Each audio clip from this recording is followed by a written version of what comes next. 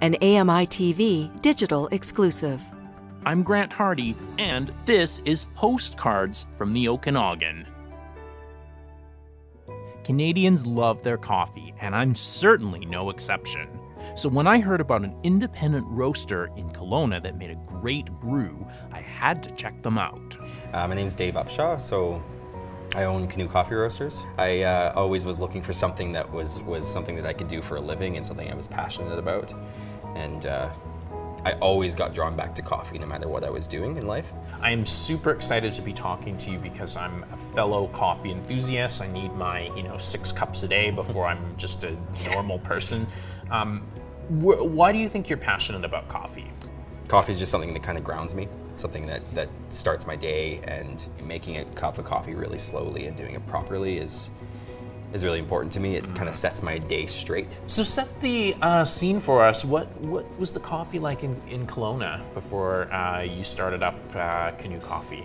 Kelowna is a pretty small town. It's slowly growing. Obviously, it's I think it's one of the faster growing cities in, in BC, but uh, it's been really far behind in the coffee scene. We're 15 different Starbucks, I think, in town. I couldn't find anything that suited my palate and what I liked to have every day. So I started roasting my own coffee at home. I, I had a, a, barbecue that I had with a little stainless steel drum about, I, it fit about three pounds of coffee in it at a time. So I had it in my back shed at my at my house and I would roast coffee in there fully manually, just using all my senses. I would smell when I thought it was ready. I would hear when I thought it was ready. I'd drop it out into the cooling tray and just my, my shed would fill with smoke. My neighbors probably thought that was crazy. so, um, so I started roasting in there and then I, I needed somewhere to serve it.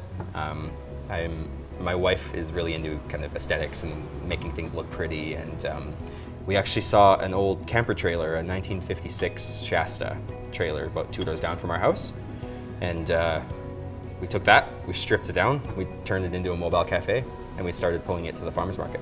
Today, that mobile cafe is parked in front of Canoe Coffee's permanent cafe and roastery. It's the kind of small business success story that fills the region.